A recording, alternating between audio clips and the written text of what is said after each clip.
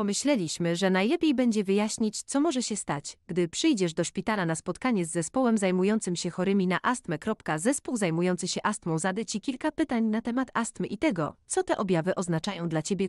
Zapytają o leki i sprawdzą, czy potrafisz najlepiej używać inhalatorów, a także mogą wydać zalecenia. Aby były bardziej skuteczne.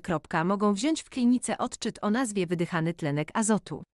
Będzie to obejmować wydychanie przez maszynę, która może zmierzyć stan zapalny Twoich dróg oddechowych. Czasami potrzebne są badania krwi, aby sprawdzić takie rzeczy jak alergie i lepiej zrozumieć astmę. Może to pozwolić Twojemu zespołowi na podjęcie decyzji o podjęciu zaawansowanego leczenia wraz ze zwykłymi lekami na astmę. Prześwietlenia klatki piersiowej i skejni mogą zostać poproszone o sprawdzenie płuc. Zespół może poprosić Cię również o wykonanie pełnych testów czynnościowych płuc. To znowu obejmuje wdech i wydech do maszyn. Mogą poprosić Cię o zrobienie tego kilka razy, przed i po inhalacji doraźnej. Od czasu do czasu zespół zajmujący się astmą może poprosić o inne testy, takie jak ocena oddychania w nocy. Zapytaj, jeśli nie jesteś czegoś pewien.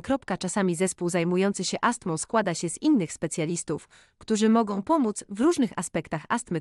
Na przykład fizjoterapeuta może zobaczyć Cię, aby jak najskuteczniej usunąć flegmę na klatce piersiowej lub pomóc w ćwiczeniach oddechowych, które sprawią, że czasami będziesz odczuwać mniej duszności.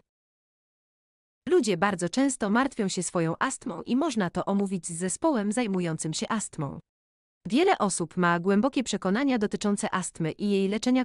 Proszę omówić to ze swoim zespołem w szpitalu.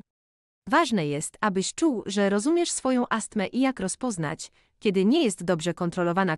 Dostępna jest pomoc w zrozumieniu i leczeniu astmy.